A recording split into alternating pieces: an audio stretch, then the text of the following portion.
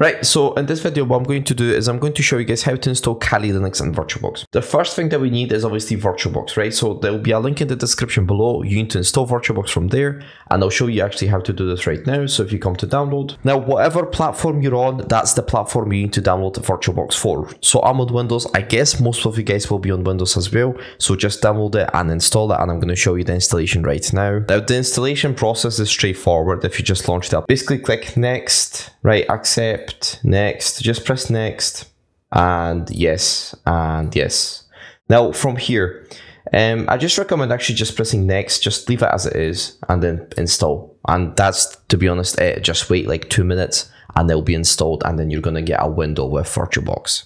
Right, so basically if you get this window Oracle VirtualBox Manager, that means you have basically installed VirtualBox successfully and now from here we just need to basically get a copy of Kali Linux and then we can install Kali Linux and be ready to go. Now from here what we just need to do is come to kali.org. As I said, all the links will be in the description below. Come to virtual machines and then what you need to do is you just need to download VirtualBox, right? Save it somewhere safe because you can actually reuse this um, this file. You can reuse this as many times as you want. But obviously, if you like have it for too long and they're gonna release too many versions, you're gonna have an outdated version. So I would maybe recommend from time to time just coming here if you're gonna reuse this file, just coming here and taking a new version and then from there um, extracting the files, which I'm gonna show you in a second what to do. Now the file that you have downloaded from Kali.org, that is basically your virtual machines in a zip file. Now yes, virtual machines you can actually extract these files as many times as you want and you're always gonna get a virtual machine. Now, what you need to do is you just need to extract the zip file and what you're going to get is you're going to get a folder. This folder is basically your virtual machine, right? So if you take a basically virtual box, right, right here,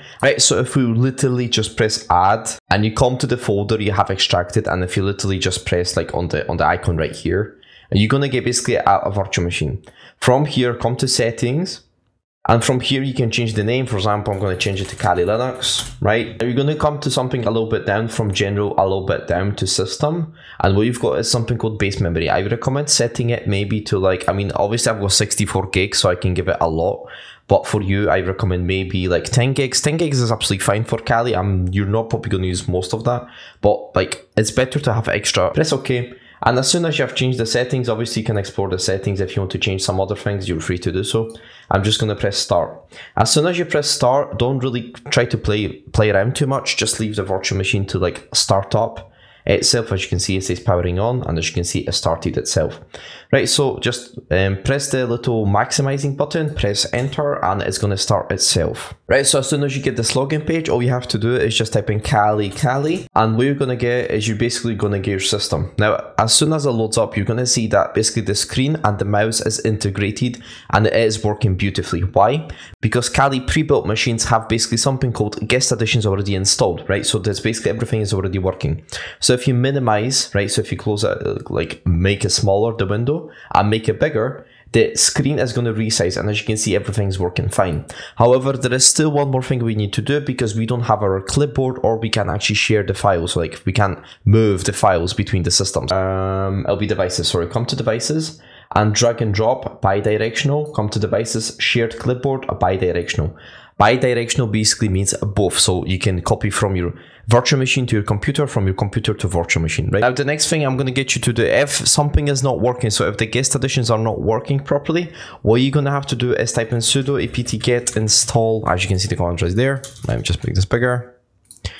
Right, so this is the command you need to basically type in, right? So you just need to install the guest addition. So if you press enter, put your password in, as you can see, for me, it's already installed. For you, it should also be installed, but if there's some problems, just try to install it. Uh, one more thing I recommend doing is updating your system. So if you type in sudo apt update and basically sudo apt full upgrade hyphen y to confirm everything, it's going to update your system and it might take like 20 to 30 minutes because it is quite a big update. And then from there, as soon as you update it, what you need to do to basically make sure that clipboard and drag and drop is working, you just need to type in sudo nano bash rc put your password in, and then at the bottom, so if you press Control down, down arrow, what it's going to do is going to take you all the way to the bottom. And all you have to do is just copy this command, this right here. Make sure that the capitalization is correct. So capital V, capital B, OX, client, clipboard, right? Just copy the whole command. The command will be in the description below. You will not be able to copy it. You'll just have to type it out, right? And as soon as you do this, all you have to do is press Control X and then Y and then enter, right? Because it's going to ask you to save. And then all you have to do is just type in sudo reboot now, and that's it. That's all you have to do, and everything should be working as technically as supposed to be. Right, so type in your password, it should be Kali Kali. And now from here, what I should be able to do if I basically, right, so if I copy, for example, something from my Discord, right, and I, for example, open a mousepad, and as you can see, I copied. So if I copy, for example, um, secret, right, and I copy on my Discord, yep, there is, right, so it's working. So everything should be working. If you have followed the steps as I have showed you, everything should be working properly and beautifully. And to be honest, that's it. I hope you enjoyed. I hope I helped you out. If you have any questions, please comment down below. I'll try to answer as soon as possible. And peace. Thank you for watching.